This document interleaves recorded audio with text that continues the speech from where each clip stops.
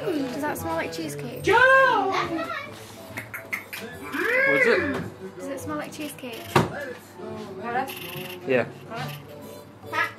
Yeah, it definitely smells like cheesecake.